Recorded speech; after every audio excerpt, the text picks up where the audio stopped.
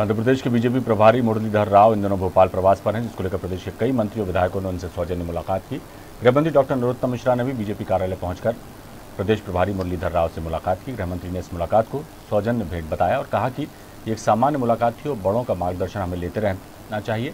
गृहमंत्री के अलावा मंत्री भूपेंद्र सिंह विश्वास सारंग कमल पटेल और विधायक नारायण त्रिपाठी ने भी प्रदेश प्रभारी से मुलाकात की। वही सौजन्य भेंट थी। माननीय प्रभारी जी कार्यालय में थे। हम भी यहीं थे।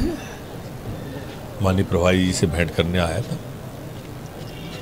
समय समय पर मिलते रहते उनका मार्गदर्शन लेंगे, लाभ मिलेगा, उनके अनुभव का, प्रदेश को लाभ मिलेगा।